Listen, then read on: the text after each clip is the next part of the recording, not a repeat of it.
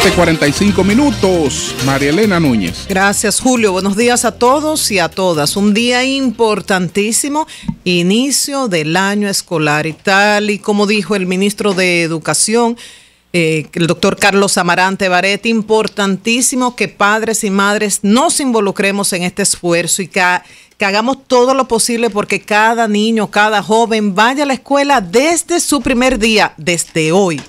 Eh, por ejemplo, uno se puede encontrar con casos, sí que ya tus hijos comienzan las clases, sí. Ah, qué bueno, están entusiasmados. Bueno, van la semana que viene. ¿Qué pasa? No, que tengo que comprarle los zapatos. Ajá, y son tres. ¿Cuánto es? Dos mil pesos. Pero quizás esa persona, aunque sea empleada doméstica o algo, ha invertido el dinero que ha ganado en otras cosas. O sea, hay poca conciencia de la importancia de cada hora en el año escolar, importantísimo. Tomando en cuenta que tendremos buenas noticias de la inauguración del año escolar con la asistencia del presidente Medina a partir de las 10, 11 en Puerto Plata, de que hay mucho júbilo por la tanda extendida que comienza en algunos centros y esto será eh, seguirá extendiéndose. Hay nuevos locales, muchos no pudieron estar concluidos por trámites burocráticos, pero se concluirán más adelante y ya hoy día eh, comienza el nuevo escolar con escuelas que no teníamos antes, motivos de alegría. Ahora, yo quiero enfocarme en dos aspectos que deben preocuparnos a todos. Me voy a una escuelita pequeña que está en la Romana, en el sector Río Salado. Es una escuela de preescolar para niños entre 3 y 6 años de edad, una escuela comunitaria. Se, se llama la escuela en Manuel. ¿Qué pasa con esa escuela? Que el alcalde, el licenciado Tony Adames, prometió en enero, según me informaron el pastor Héctor Julio Chávez y la directora de la escuela, Heidi Ramos, eh, prometió en enero, voy, vamos a reparar, porque como escuela comunitaria depende de la asistencia de la alcaldía. Y de enero hasta agosto solo repararon puertas, ventanas y baños y ya el inodoro, el lavamanos, por lo menos del baño de la primera planta, porque estuve allá en el fin de semana, allá en la romana, se los robaron. Entonces tenemos 80 alumnos entre 3 y 6 años de edad, cuidados, guiados, supervisados por cuatro profesoras en un local de dos pisos con una escalera que no ha sido terminada, sin barandillas de seguridad y al local le faltan los cierros para seguridad, para evitar que se sigan robando cosas concluir el local. Pero esto no, no termina acá. Yo estoy segura que el licenciado Tony Adames cumplirá su promesa rápidamente. Ya inicia el año escolar, pero rápidamente que concluya ese local. ¿Qué pasa? La escuela funcionaba en otro lugar y gracias a la donación de un empresario de allá de la Romana, se mudaron a una escuela que reúne ciertas condiciones. Pero ellos están esperando que la alcaldía termine esa reparación para continuar con los trámites con el Ministerio de Educación, poder tener el código correspondiente, pasar al distrito escolar y formar parte del sistema público. De esta manera, los padres no tendrán que pagar 200 pesos mensuales, que es lo que pagan actualmente por cada niño, para cubrir los gastos, ya que no pertenece todavía a este sistema público del Ministerio de Educación por la falta de este código. No reúne las condiciones. De ahí yo concluyo que esta promesa no cumplida, según mis informantes, el pastor y la directora de la escuela de parte de la alcaldía, está retrasando este proceso con el Ministerio de Educación. ¿Y qué más está retrasando? Una donación en dólares. Resulta que hay una romanense, Sandra Sánchez, ya conocida hoy día en Estados Unidos como la doctora Cándida Catucci, una egresada de medicina de la Universidad Central del Este, que va hace como 30 años a Estados Unidos y venciendo todo tipo de obstáculos por ser mujer, extranjera, latina, negra, logra superar todas esas pruebas que son muy fuertes para los profesionales de la salud, seguir estudiando y ejercer en los Estados Unidos. Y hoy día la doctora Catucci es una destacada internista en la ciudad de Nueva York. Entonces ella viaja por todo el mundo, pero cada año dedica 10 días a venir a su país y a venir a su pueblo natal, la romana. Pero trae compañeros y compañeras. En esta ocasión viajó con 20 personas de China, de los Estados Unidos, de Venezuela, de Argentina.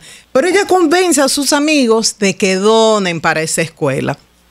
De repente en una actividad pasa sombrero y recolecta dos mil dólares. De repente hace una fiesta en Nueva York dedicada a recaudación de fondos. Ya han hecho varias ayudas, pero la ayuda actual, ya recolectada, está detenida en espera de que la alcaldía termine con la reparación de la escuela, porque ellos no quieren duplicar esfuerzo, como ya hubo esta promesa de parte de la alcaldía están esperando esto para entregar tanto al pastor como a la directora de la escuela, Heidi Ramos, la ayuda recolectada en su última actividad. Y hay una historia humana muy linda en esto porque la hija de la doctora Catucci, Gabriela Catucci, y la hija de su amiga, la dermatóloga argentina Miriam Casal, Camila Marichal, iniciaron un proceso como parte del servicio social en high school. Esto hizo que esta estudiante, Gabriela Catucci, lograra una beca, la beca Martin Luther King, para ir a estudiar a, la NYU, a la Universidad de Nueva York. Y ya ustedes saben lo que esto representa. Entonces ahora, como ella ya tiene mayoría de edad, 21 años, va a formar una ONG y seguirá ayudando a esta escuela junto con Micaela Marechal. O sea que esta escuela comunitaria en Manuel está pendiente de que el alcalde de la Romana, Tony Adames, cumpla con su promesa de terminar el local. ¿Para qué? Para lograr el objetivo de pasar al sistema público. Y el otro objetivo, conseguir que sigan estas donaciones de parte de una dominicana residente en Nueva York que cree en lo que es la responsabilidad social, ya en este caso no corporativa, pero sí a nivel personal. Y otro tema preocupante en el día de hoy y que debe preocupar al ministro de Educación, a la ministra de la, eh, ministra de la Mujer, vicepresidencia, despacho de la primera dama, ministro de Salud. ¿Cuántas jóvenes hoy día no estarán asistiendo a la escuela por estar embarazadas o por estar cuidando un bebé. En el hospital regional Juan Pablo Pina tenemos una niña de 11 años. ¿Qué dijo el ministro de Salud, el doctor Freddy Hidalgo?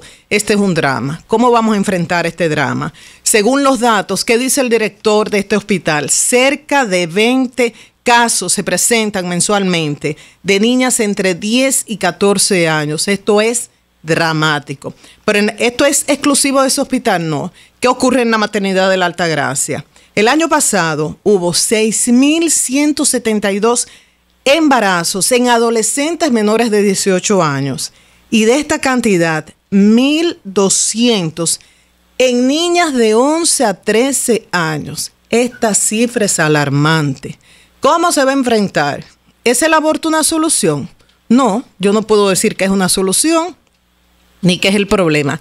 Sin embargo, el no permitir el aborto en casos en que se pone en riesgo la salud y la vida de la madre, en casos de violación, está haciendo que muchas de estas jóvenes vayan donde no médicos, no, donde quizás asesinos a practicarse un aborto y llegan con sangrados vaginales excesivos por abortos incompletos y con úteros perforados. Imagínense una niña de esa edad ya, además de ser violada, además de haber quedado embarazada siendo una niña, además perder el útero tan temprano.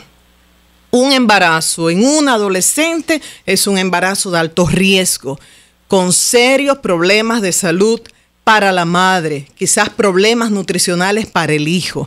Es un problema en términos económicos, esto tiene un costo para el Estado y prácticamente estamos teniendo como una especie de fábrica de delincuentes. Si esta niña de 11 años no pudo ser supervisada, a veces por irresponsabilidad de los padres, pero otras veces los padres no están presentes porque están trabajando o la madre tuvo que emigrar a Estados Unidos o a una de las islas. O sea, no podemos decir que siempre es sinvergüencería, pero definitivamente no hubo una supervisión permanente. Pero ya esta niña tiene 11 años y tiene un bebé ¿Quién garantiza que este bebé va a estar supervisado? Si es niña, que no va a pasar por lo mismo. Entonces, ojo, iniciando el año escolar, mucha alegría, entusiasmo por las eh, nuevas noticias que tienen del Ministerio de Educación, pero prestar atención a la escuela en Manuel de Río Salao en La Romana, que el alcalde cumpla con su promesa y por otro lado, a prestar atención a la deserción escolar por el caso de embarazos en adolescentes.